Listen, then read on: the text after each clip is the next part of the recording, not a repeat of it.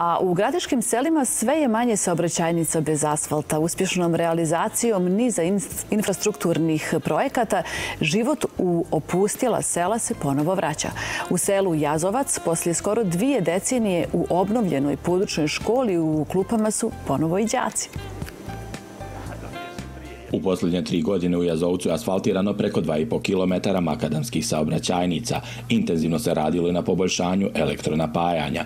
Onim što je urađeno, mještani su zadovoljni, ali kažu da je još potrebno mnogo toga uraditi kako bi se život vratio u pusto selo. Već u ovo je treći navrat kako asfaltiramo ove pojedine dionce ovog puta. Nadamo se, ostalo nam je još nešto malo, možda ukupno 2 km da e, napravimo kompletno asfaltni put u selu Jezovac e, mještani su nako prilično angažovani. Nažalost, nemamo baš, ovo nije baš nešto posebno veliko selo, ali ima nekih dvjestotinak ljudi koji su nastanjeni ovdje.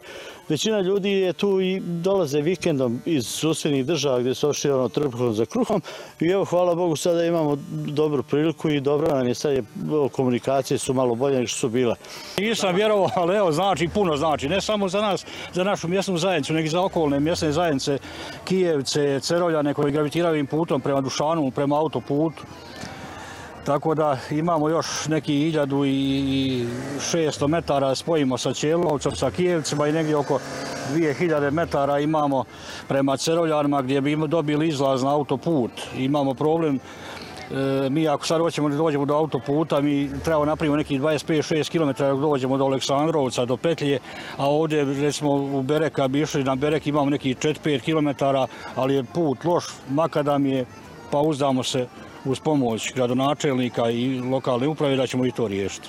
Osim Jazovca, gradska uprava uprko smanjenim prihodima u budžetu nastoji da i u ostalim seoskim sredinama završi započete infrastrukturne projekte. Kao gradska uprava smo donijeli odluku da nećemo odustati ni od jedne naše investicije, ni e, ovih e, e, redovnih investicija, niti od kapitalnih investicija.